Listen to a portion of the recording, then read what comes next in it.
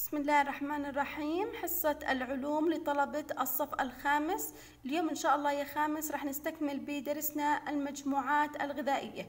في الحصة السابقة تعرفنا إلى أهمية الغذاء حيث يزود الغذاء الجسم بالطاقة اللازمة للقيام بالعمليات المختلفة. والغذاء ضروري لنمو الجسم وتعويض الأنسجة التالفة بالإضافة أنه يساعد على الوقاية من الأمراض. بعد ذلك تعرفنا أن الغذاء يحتوي على خمس مجموعات غذائية رئيسية وهي الكربوهيدرات البروتينات الدهون الفيتامينات والأملاح المعدنية. تعرفنا إلى مصادر هذه المجموعات الغذائية وأهميتها وفائدتها لجسم الإنسان. اليوم إن شاء الله تعالى راح نتعرف على الماء. بالرغم يا خامس من أنه الماء ليس مادة غذائية ولكنه كالمجموعات الغذائية ضرورية جدا لصحة جسم الإنسان. قال الله تعالى وجعلنا من الماء كل شيء حي. هذه توضح أهمية وضرورة وجود الماء في حياة الكائنات الحية.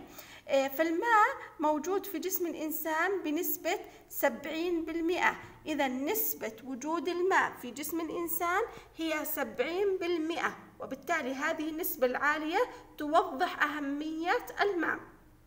لماذا يحتاج الجسم إلى الماء؟ يحتاج الجسم إلى الماء لإذابة المواد ونقلها بين أجزائه المختلفة. الماء الغذاء عم ينتقل خلال الدم حتى يصل لكل خلية من خلايا جسم الإنسان. الآن نقل الغذاء في الدم ما بينتقل في الحالة الصلبة بينتقل وهو مذاب الذي يساعد على إذابة الغذاء ونقله بين أجزاء جسم الإنسان المختلفة هو الماء. إذا الماء ضروري لإذابة المواد ونقلها بين أجزائه المختلفة. لأهمية الماء وضرورته يجب على الإنسان أن يتناول ما مقداره من ستة إلى ثمان أكواب من الماء يوميا صيفا وشتاء وممكن تزيد هاي الكمية في فصل الصيف.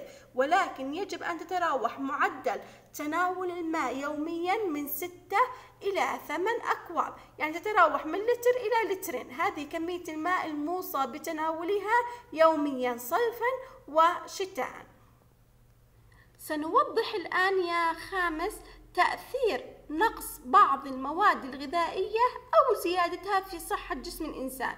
الآن كل شيء لازم يكون إحنا نتناوله بتوازن وباتزان وبكميات مناسبة. الرسول صلى الله عليه وسلم حكى ثلث لمائك وثلث لهوائك وثلث لطعامك. يعني أنا مش شرط أني لازم أعبي معدتي بالغذاء حتى أحصل على الفائدة. هنالك زي الفيتامينات مثلا إحنا حكينا إنه تناولها بكميات قليلة يعني إحنا الجسم بيحتاجها بكميات قليلة فمش شرط إني مثلا آكل ست سبع تفاحات باليوم يوميا عشان أحصل على الفيتامينات المطلوبة أو أتناول عدد كبير من البرتقال عشان أحصل على فيتامين سي ضروري لتقليل من أعراض الرشح والإنفلونزا. الآن نقص بعض هذه الفيتامينات يؤدي إلى حدوث مشكلات صحية. أبرز هذه المشكلات مرض الكساح. ما هو مرض الكساح؟ مرض الكساح يا خامس هو مرض يصيب الأطفال فالعظام عندهم بتكون لينة ضعيفة. وليست قوية. وبالتالي زي ما أنتم شايفين بهذه الصورة تتقوس العظام. يعني الأقدام ما بتكون مستقيمة بتكون متقوسة. سبب ذلك هو نقص فيتامين د حيث هذا النقص يقلل نقص فيتامين د يقلل من امتصاص الكالسيوم اللازم لبناء العظام والأسنان. فبالتالي بيأثر نقص فيتامين د على قوة العظام وعلى آه، بقاء الأسنان. بيأثر على بقاء الأسنان. لذلك يجب زي ما حكينا أنه نتعرض لأشعة الشمس خاصة في ساعات الصباح الباكر من الساعة السابعة إلى التاسعة. هذه هي الفترة المطلوبة للتعرض لأشعة الشمس لأنه التعرض لأشعة الشمس ينشط تصنيع فيتامين د في جسم الإنسان.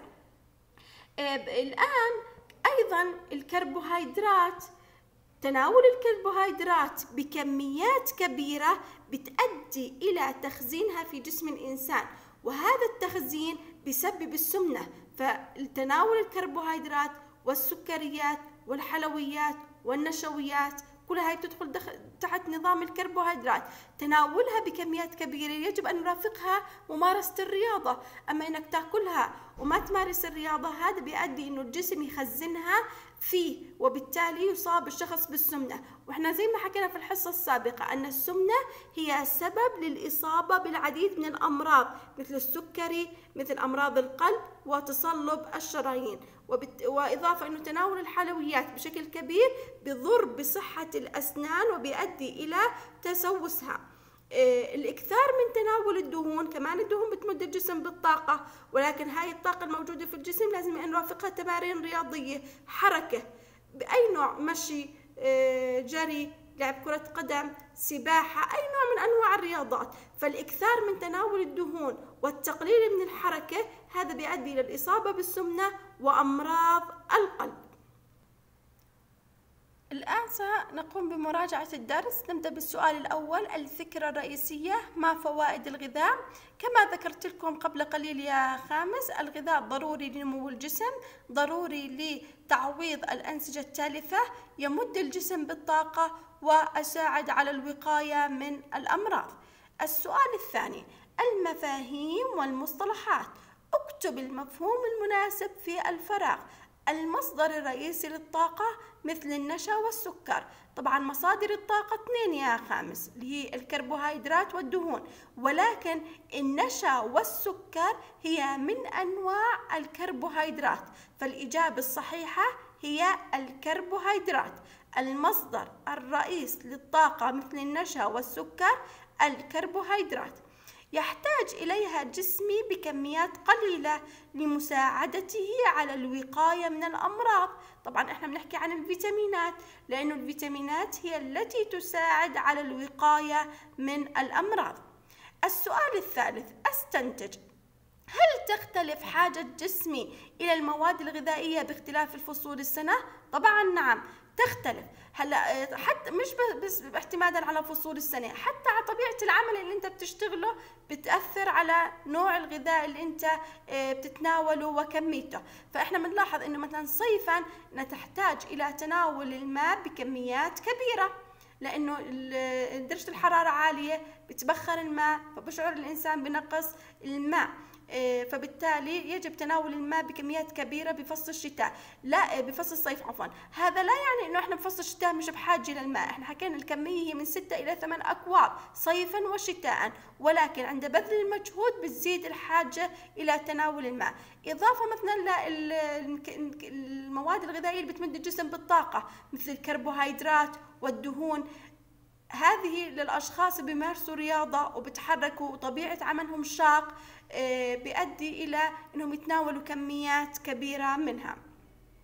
السؤال الرابع طبعا مش مطلوب مني بس إذا بنقدر نعمله كواجب على الدفتر العلوم ما في أي مشكلة. اللي هي بدك ت... على دفترك العلوم بدك تحط صور لأغذية مفيدة لجسم الإنسان. بتمنى إنه يتم حله على الدفتر وإرساله على المنصة.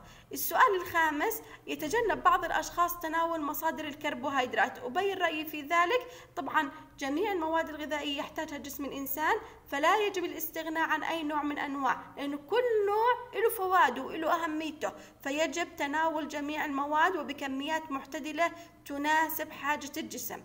السؤال السادس أختار الإجابة الصحيحة أي اللي هي الصورة التي تمثل وجبة صحية أي هذه الصور تمثل وجبة صحية مثل ما إحنا شايفين اللي هي الصورة ألف لأنها بتحتوي على بعض الخضروات والفواكه الخضروات عفوا اللي هي مثل بندورة فيها خبز فيها بيض فهذه مواد يحتاجها جسم الإنسان.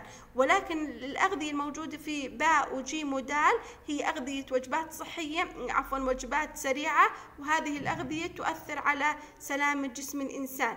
آه، إضافة أنه فيها نسبة كبيرة من الدهون آه، اللي ممكن تتخزن في جسم الإنسان وتسبب السمنة. يعطيكم العافية خامس.